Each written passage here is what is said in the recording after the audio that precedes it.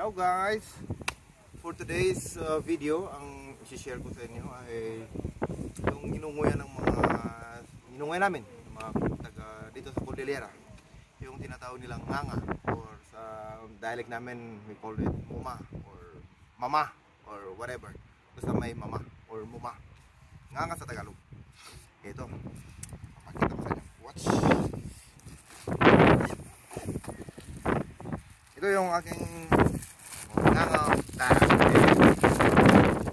Yung mga content nito yan, may dahong yan, ikmo. Sa Tagalog ikmo. Sa, sa aming dialect, we call it uh, gawud. And may tobacco.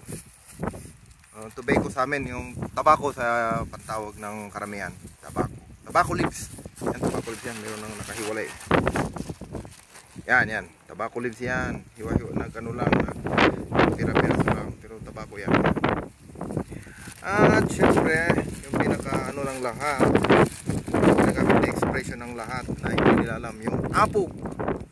Ang kapal ng apog mo. Yung sabi na, ito yung yung na apog. Tuturo ko ngayon paano siya, ano ang ginagawa.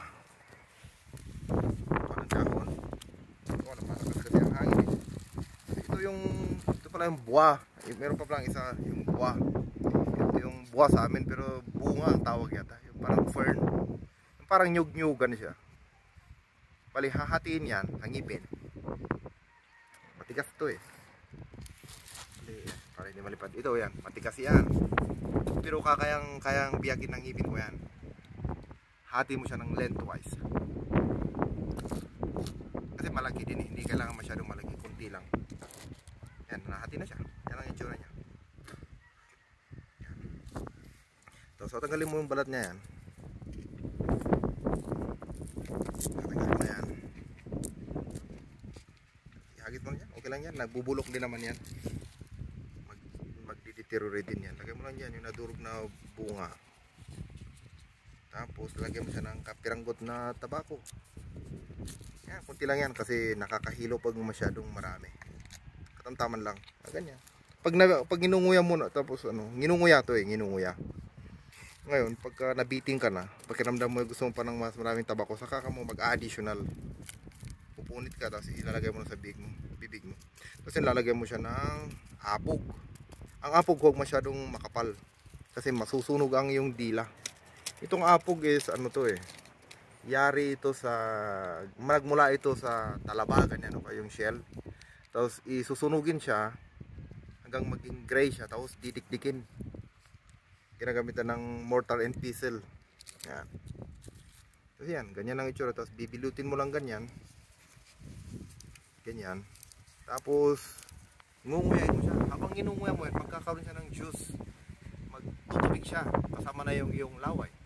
Yun naman yung lalabas na juice na yun yung laway hindi yun nilulunok. Idudura yun. Kasi pag nilunok mo malalasing ka ng kakaibang lasing. Hilo ka. Ngayon ito ng- gining- uh, ginunguya namin ito kasi nakakapagpainit sa katawan. At tapos nakakapaglinis ng ngipin. Nakakapagtibay ng panga at marami pang ibang health benefits ang nakukuha dito sa pagnganganga. Kaya usually dito ano, mga matatanda. Pero dito sa ating modern modern sa ating modernong panahon, kahit mga bata, teenagers, mga katulad ko, nanganganga na rin kasi ito ang labis. Kisa naman manigarilyo, mag-alak at ito, ito na lang, herb na lang.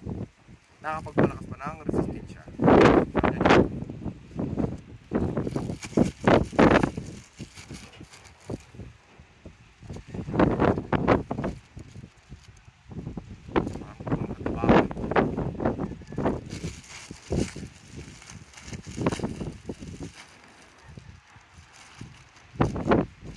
Magtutubig siya lang. Para ang may juice na extract. Yan, pag tinula mo ito, magiging red to. Pero ito yung una niya, medyo may pagka-green pa. Mga pangalawang dura, red na siya. Kaya kung hindi ang damit mo, dapat maingat ka sa dura. Dapat sharpshooter ka na malakas.